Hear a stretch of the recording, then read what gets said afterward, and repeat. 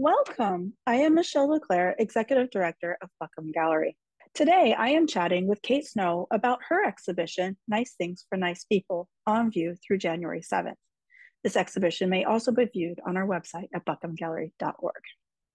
Buckham Gallery is pleased to present the work of Kate Snow in her solo exhibition, Nice Things for Nice People. Snow's work are silly, irrelevant, absurd, Squares and dots become characters in their own world. They move and interact, making friends, getting lost, or just existing in their own little simple selves. Before we join the conversation, I would like to say thank you to our incredible audience, whether visiting the gallery in person or viewing these videos online, and to all the artists who submit to our exhibition calls. I appreciate you. Next, I would like to say a big thank you to the individuals and organizations who support Buckham Fine Arts Project and Gallery, including the Charles Stewart Mott Foundation, Michigan Arts and Culture Council, and the National Endowment for the Arts. Greater Flint Arts Council Share Art, Genesee Grant Program made possible by the Genesee County Arts Education and Cultural Enrichment Funds. Your tax dollars at work. Thank you. Kate Snow is a painter and printmaker in Cleveland, Ohio she began exhibiting in 2015, and her work has since been shown across the United States and in Germany. Her work is included in a number of private and public collections, including BakerHostetler, Metro Health Hospitals, and Westin Hotels. She has been awarded residencies in Dresden, Germany, Brush Creek Foundation for the Arts in Saratoga, Wyoming, the studios of Key West in Key West, Florida, and the Jentel Foundation in Banner, Wyoming. In 2018, Kate was commissioned by the Cleveland International Film Festival to design and create the Filmmaker Awards for this season. Not season, excuse me. Uh, most recently, she was a recipient of the 2021 Ohio Arts Council Individual Excellence Award from the state of Ohio. Welcome, Kate. I absolutely love your paintings, and I have been really looking forward to have this opportunity to talk with you and and learn more about um, you and your process of working. so wonderful. Yeah. um, so I like to start these conversations, um, you know, to learn a little bit more about your background, you know, like where you're from and sort of what led you to the art making path. I have this question is always so hard for me because I don't have a straight trajectory to, you know, from from kindergarten to now. I um, was always a maker. I always loved making things. I always liked making art as a kid, but I never, uh, I didn't take any art classes in high school. I was not part of the kind of art crowd. Um, and I think a lot of it was I just felt really intimidated. I didn't think I was good enough to do it. I uh, the way that I worked was very different. I had a hard time kind of pulling back and learning a lot of the um, basic art foundational things because I would get so honed in on something and, and work on something very detailed. And I just was not able to produce the work that I thought I needed to produce in the classes. My work didn't look like other people's work. So I just backed off entirely and I didn't really make any art at all. Um, and then in my 20s, I started taking some art classes at community college. So I started, my first one was a photography class because I'd always wanted to learn photography. And from there, I started getting into the foundational things, um, you know, uh, fundamentals of drawing, color theory, that kind of thing. And so I did all of those classes just through community college, kind of one mm-hmm. at a hmm. time as I, you know, took one class and the teacher said, you know, you really should take life drawing. And I took life drawing and they said, you really should take. So I tried a lot of different things. And then I ended up at a, a makerspace, a printmaking studio mm-hmm. that um, had, it was a cooperative uh, studio. It had, I don't know, maybe 20 artist members and then classes and residencies. And so I got involved with them. And that's really when uh, my education kind of took off that was we had artists coming in from all over the world taipei berlin and i would just sort of creep up behind them and look over their shoulder and ask a bunch of questions. And artists are incredibly generous with their knowledge and idea sharing. And that was a game changer for me. And that was really when I started developing my own voice. How do I work? What do I want to say? What's working and what isn't working? And it was great to be in that environment because not only was I learning how other people were doing it, I was also finding out how people were reacting to my work, um, wow. what they were seeing. Because, you know, when you're an artist, it can be very isolating. You're working by yourself a lot and you go through the sort of like this is amazing. Oh i should burn it. This is great. This is terrible. And having other people look at your work and say yeah i'm, I'm picking up what you're throwing down. I, I get it was so helpful and it really helped me kind of hone where i was going so I don't have a sort of like, and then I went to art school and then I went to graduate school. It's this kind of winding path that got me where I am now. But I'm so grateful to so many artists who just were um, kind in yeah. their uh, their direction giving along my journey. Yeah, that's kind of interesting to have been in a, a print shop because that is really a social um, can be a rather social environment as opposed to the isolations of the different you know painting studios or drawing which um yeah, yeah. and printmakers are yeah. also they're always so friendly yes. and willing to share um their different processes and things well that's kind of interesting yeah. so do you do a lot of printmaking still or that's I do some. I mean, that was really, I mean, I say that printmaking is my background because that was really my education. And so it has informed a lot of how I paint comes from this background of printmaking. All of my work is very, very flat, it's very layered. Um, all of that is intentional. Um, and uh, so, so I did a lot of printmaking and then sort of kind of hybrid did some these pieces kind of use both a little bit of printmaking, a little bit of painting. Mm-hmm. Um, but I have arthritis and it started to get harder and harder to carve and and do things like that. And I actually had um, two letterpress, I had a Chandler Price and a um, Heidelberg in my house. So I had about wow. 5,000 pounds of printmaking equipment in my studio. Um, for a while, which was which was kind of wild. It was fun, but it got too hard for me to set type and things like that. So I've been doing more painting and less printmaking um, since then. But I do love it. There's something about print that is just unlike anything else, and mm-hmm. and it's nice because I can still use some of it in my painting. Um, so I, I get to do some of it still. Oh wow. That's awesome. I can't believe letterpress is in your studio. wow. Okay. Well, um, I'm gonna bring up the slide. All right. um, so I absolutely love your title. Nice things for nice people. I, I, it's so great and heartwarming. Um, and so I thought maybe could you tell us how this title um, relates to this body of work? Yeah.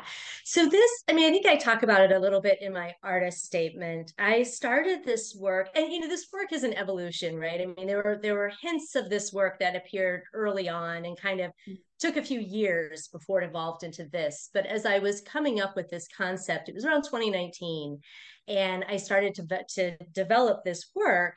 And as we got toward 2020 and just the entire world shifted everything kind of changed um i I, I leaned into the simplicity of this world. This work was sort of a space that was uncomplicated. It was um, not angry. It wasn't violent. It was happy and um, content and it was a space that I wanted to be in, especially post 2020 when uh, there was mm-hmm. just so much unrest and so much fear and anger and illness. And um, I just wanted to create a nice space that people could walk into and for a minute take a breath and just mm-hmm. kind of detach a little bit from the weight of everything that was going on around us but be in a space that reminded us um, of sort of the the nicer things of the world that we live in of the relationships that we have of the people we have around us. And so that's really where that came from. Just i wanted nice things for nice people. I wanted nice people to come in and have a nice space to sit in for a minute and feel good. Yeah. Oh i love it. Yeah. Oh well they definitely are um enjoyable paintings, you know. Um, while the panels depict simplified landscapes and still lives, um, when viewed together, a narrative starts to develop. Do you start with like a story sort of sketched out before you begin um, a series, or do you uh, does the story sort of develop while, while you go? The story definitely develops. And this is, you know, I wish I had a less cheesy answer, but the truth is, it really feels to me like a collaboration with the materials. Mm. Um, the way that these, and this is true for all of my work, but with these pieces in particular, the way that they are built is sort of layer by layer, there's a negotiation. So I start with the wood panels and um, the first layer is the stain and that mm-hmm. really informs everything that comes next. So based on the way that the stain sits the what what grain it pulls up how dark it is whatever that looks like that then is um, the clue for my next step which is laying down the base layer of the landscape. And so those are um, randomized to a point I have kind of different stencils I use because that's the printmaking ink that lays on top, that foundational mm-hmm. layer. And so with that, I kind of have different landscapes that I choose from to put down. Um, and that really is used, I, I, choose those based on how best to utilize the wood grain because I, I, really like to mm-hmm. use what I can from that. And then once I have the landscape laid down, that's when my conversation kind of starts with my little characters. Um, and I start deciding sort of who's going to be in this picture and what are they going to be doing. And and some of that is informed just visually. Where would the where would the piece feel balanced? Um, that kind of thing, just like mm-hmm. visual element of design kind of questions. But it really is a collaboration. And I see all of these as characters. And as I'm filling the space, I just kind of have an instinctual uh, feel for when to stop. So you have these um, mm. two panels with the houses pulled up. The one on the left with the two houses. Um, I, I, that wasn't sketched out ahead of time. I had my grain, I had the the white landscape, and I put the first house in, and I thought he needed a buddy, and so I put the second house in, and I thought that's that's enough. They're having a little conversation. Nobody needs to come in and crowd that.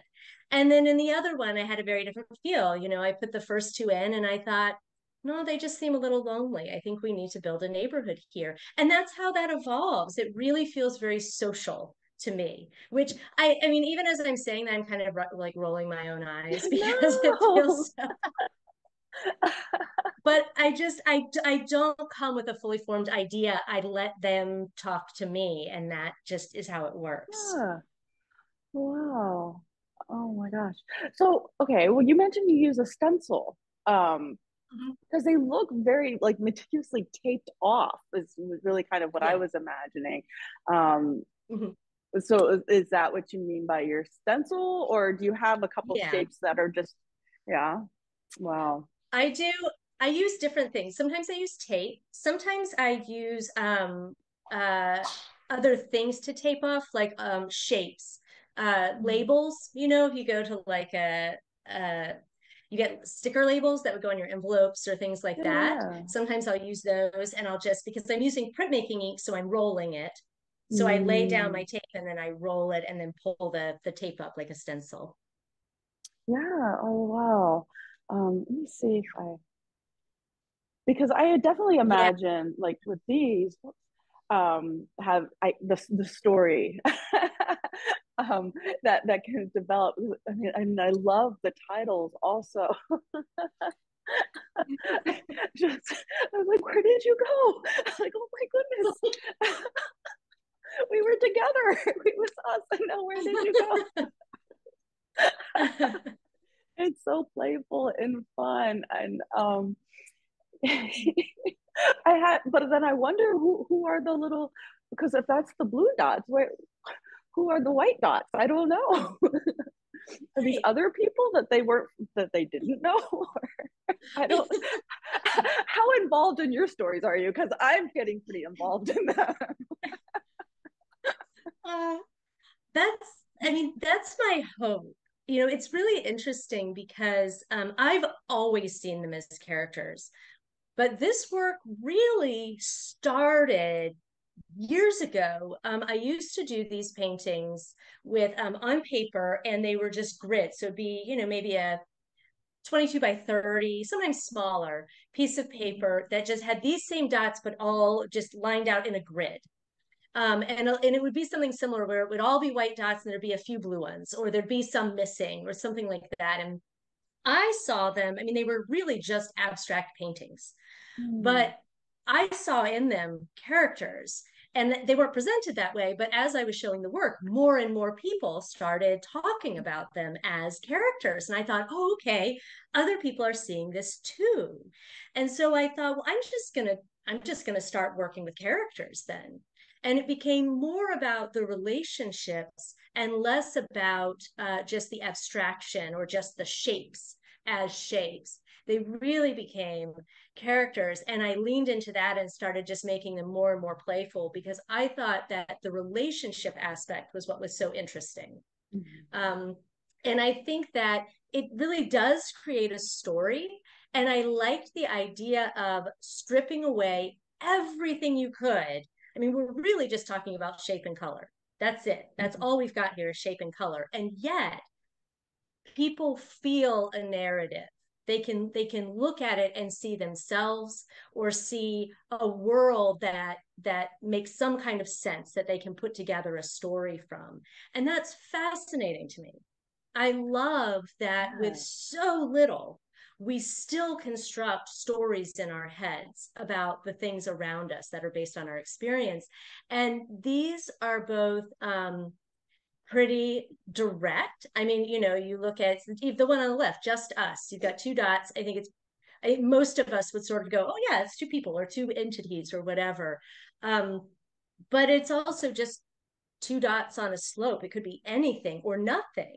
Mm-hmm. And there's room in there for interpretation. And so I think people are, you know, some people said, oh, they, you know, slid down a, a snow hill or, oh, they're climbing something. There's so little there that people can fill in the gaps with their own mm-hmm. experience. But there's also enough that it doesn't necessarily need anything else to tell a story. And, and that duality I just love. I absolutely love because I love hearing what people see um, and yeah. so we, there's an underlying thing that we all see. There's a human experience thing that everyone kind of seems to tap into. But also, our lens is so different that there are very different takes. And I just really love that about this work. It makes it very um, enjoyable for me to make. Mm-hmm.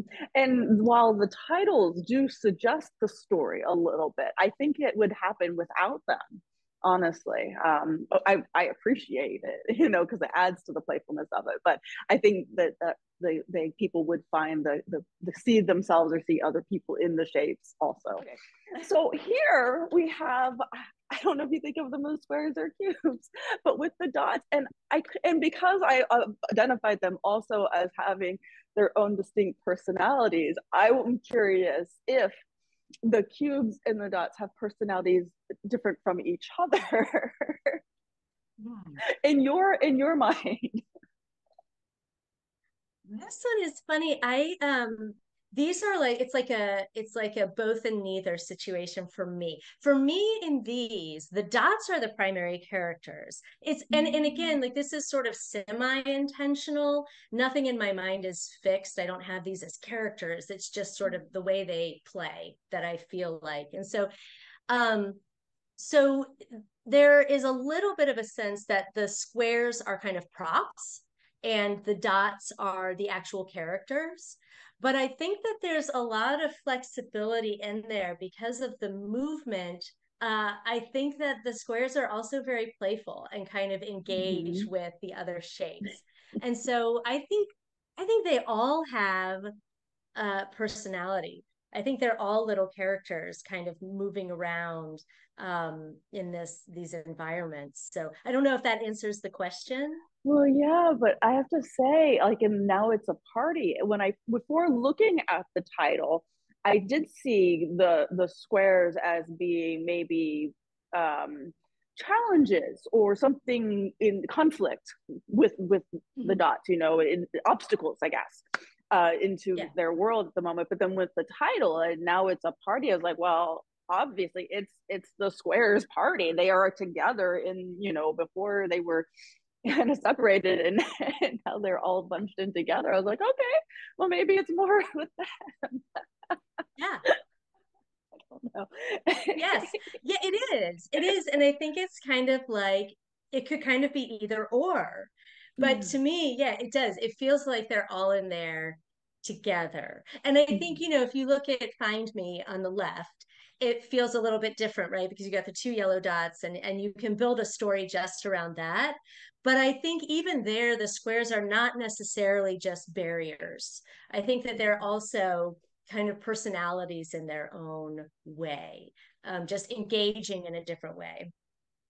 Right. Well, yeah, they because they're stacking up and maybe to find the one lonely square over there on the other side of the dot.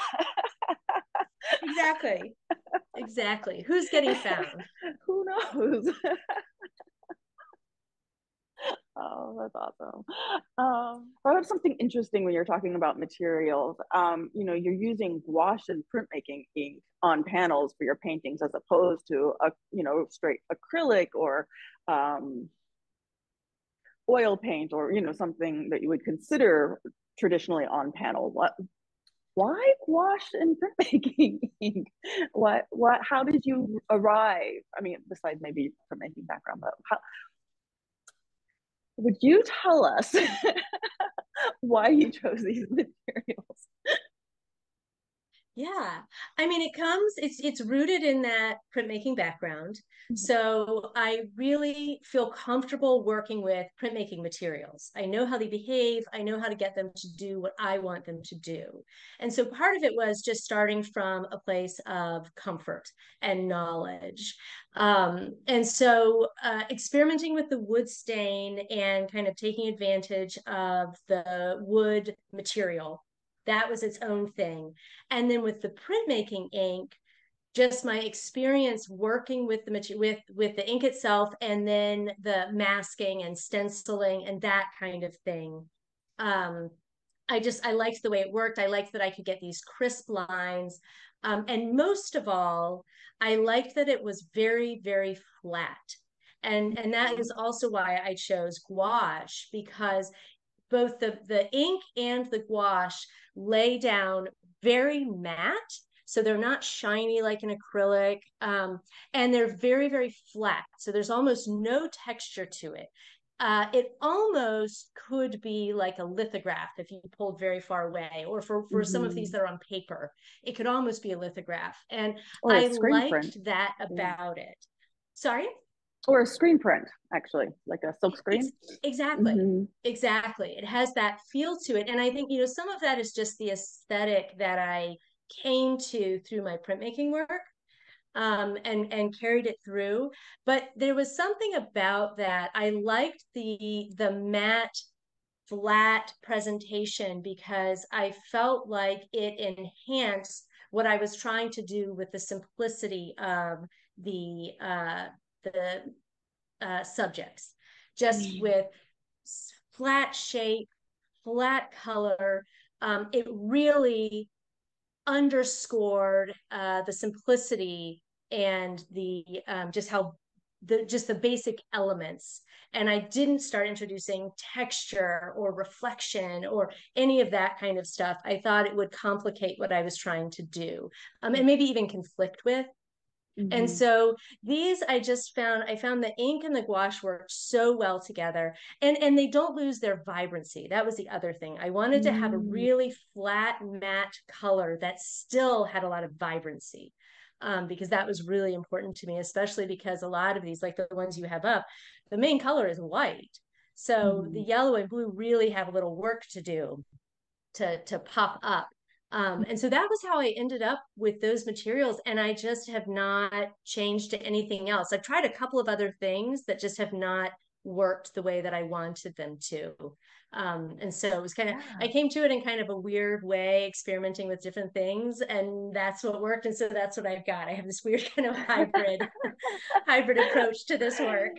Yeah, well, so the I've only used gouache on paper. I've never used it on panel before. Do you have to mix anything with it so that it will?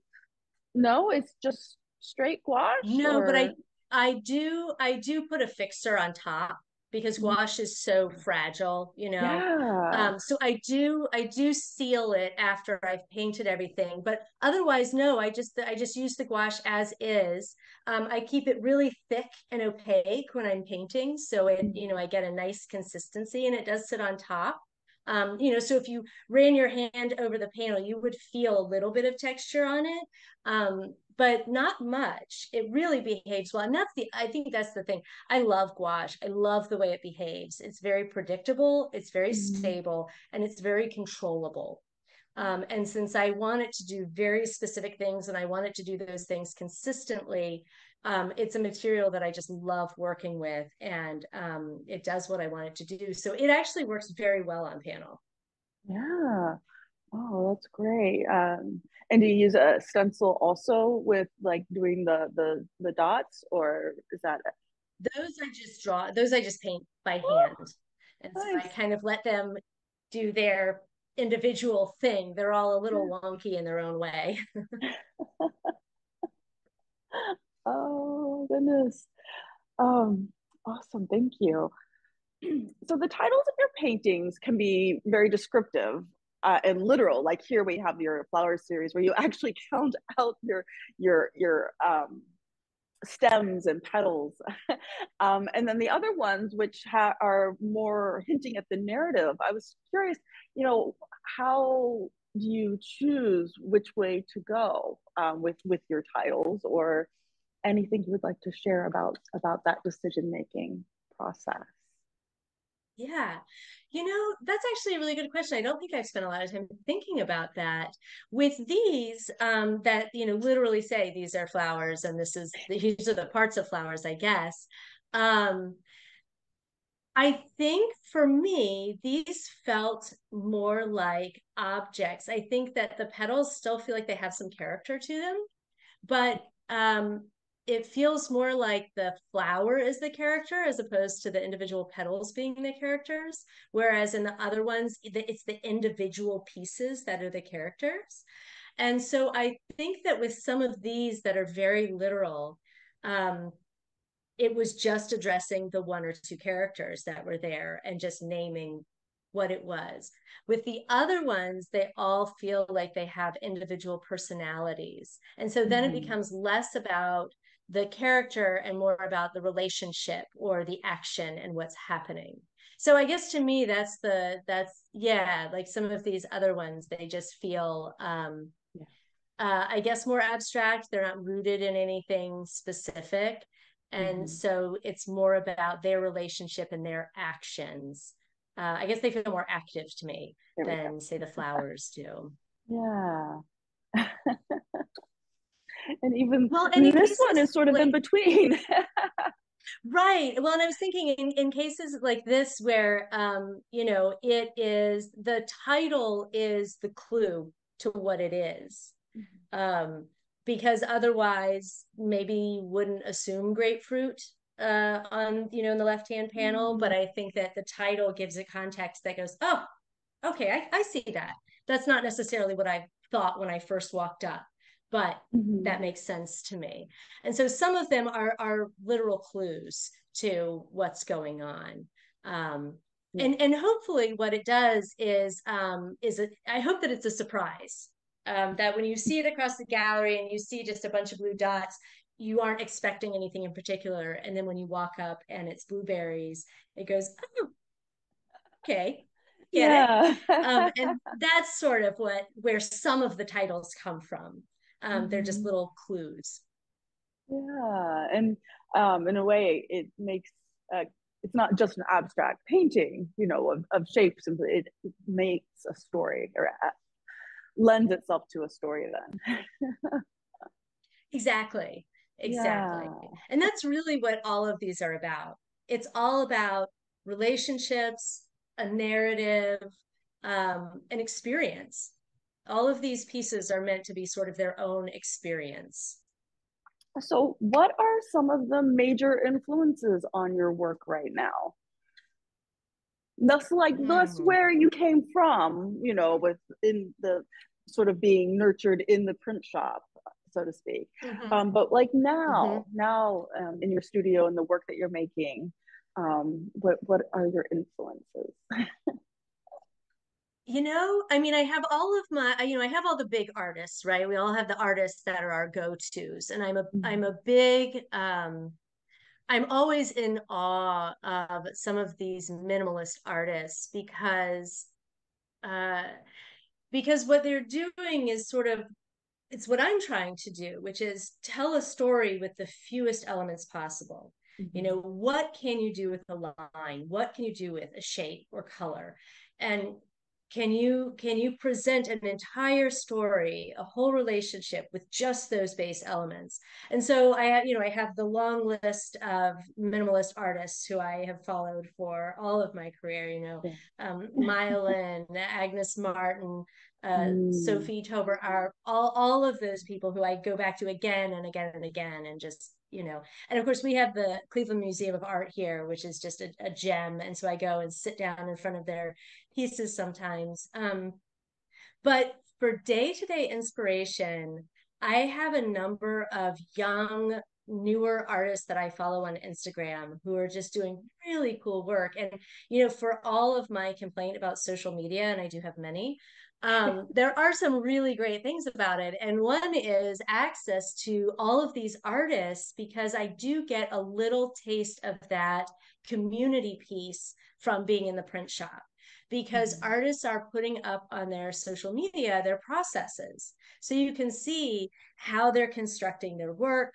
where they're pulling inspiration from, um, they're just all of the process that's going on behind the scenes that we aren't really privy to outside mm. of a mm. shared working space. Otherwise, you really don't know what's going on behind the scenes under the canvas for other artists. And so I I follow a lot of artists on Instagram and check in and see what they're doing and it is it's fascinating and inspiring and intimidating um, but it is a wonderful way to learn and to to find new materials and and things like that. So there's this one artist i'm completely obsessed with and i won't i can't think of her name. She's young she's italian but she does these these really large canvas pieces.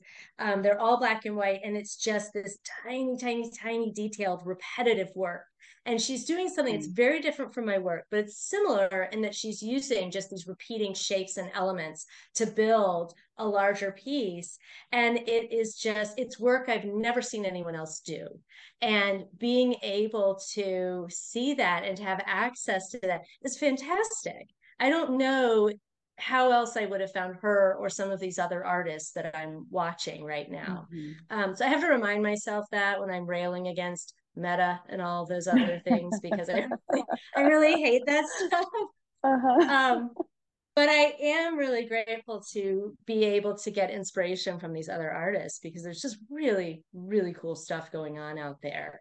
Um, and it can it can get uh, those other things can get missed when you're just working alone in your studio all the time. And so mm-hmm. having that is really, really helpful. But there's a lot of cool artists out there doing cool things. Yeah. Oh, I I know. I definitely can get sucked into the the scrolling through because I typically only follow um, visual artists on Instagram. Yes. So it's like okay, there's yeah. so much. Yeah, that is that is definitely the uh, one of the bonuses of of having that available. Yeah. Well. Yeah. Uh, yeah. Um, this has been really awesome. Thank you so much yes. for giving us a peek into your practice and um, process. And this was really, really great to learn more about your work. well, thank you so much for taking the time to talk to me and for the show. It really is. It is gorgeous. I love the way that it came out. You have such a nice space, and you guys just did a really beautiful job curating and hanging it. So I uh, thank you for that, and thank you for taking the time to talk to me this morning. You're welcome. Again, I just want to say thank you to Kate for taking time out of her day to chat with me. I really, really enjoyed hearing about uh, these playful paintings. They're so great. Um, and thank you, all of you, for listening and paying it and watching. Uh, I hope to see you again soon.